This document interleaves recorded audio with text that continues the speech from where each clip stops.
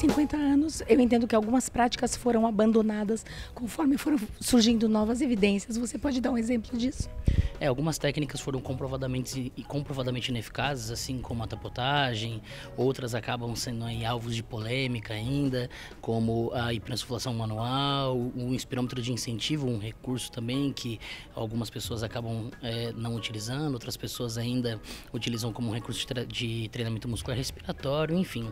Mas é natural nessa transição que o aumento das formas de avaliação e o aumento da produção científica de fato separe aquilo que tem o maior resultado e o maior impacto sobre o paciente. Então, algumas dessas técnicas ficam para trás mesmo, mas não é algo ruim, muito pelo contrário, é a gente filtrando a nossa atuação naquilo que realmente funciona.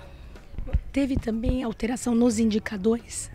Sim, na verdade eu não digo alteração, mas a implementação de indicadores, porque hoje a gente consegue entender que o nosso resultado ele é muito maior do que antigamente. Antigamente, como eu falei na palestra, as peças desse quebra-cabeça estavam soltas e hoje nesse cenário com esse modelo assistencial que a fisioterapia respiratória vem sendo desenhado, faz com que a gente consiga enxergar a imagem desse quebra-cabeça, traçando um indicador de fato uh, que mostra o impacto da nossa atuação.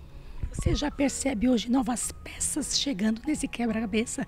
Projetar alguma coisa para os próximos 50 anos, 100 anos?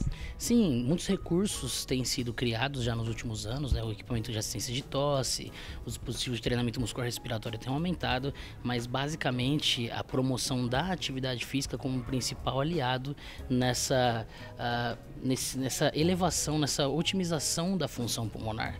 Então é o conceito de funcionalidade que a nossa profissão tem há 50 anos empregado em uma área muito clínica nesses últimos 50 anos. Então, não é tirar um lado para acrescentar o outro, é simplesmente unificar ambos os lados para que a nossa ação seja potencializada.